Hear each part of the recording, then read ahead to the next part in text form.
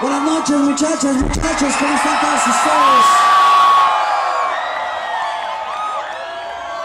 Qué alegría estar de nuevo acá en Mérida con ustedes, una nueva oportunidad para nosotros de compartir la música. Muchas gracias por traernos.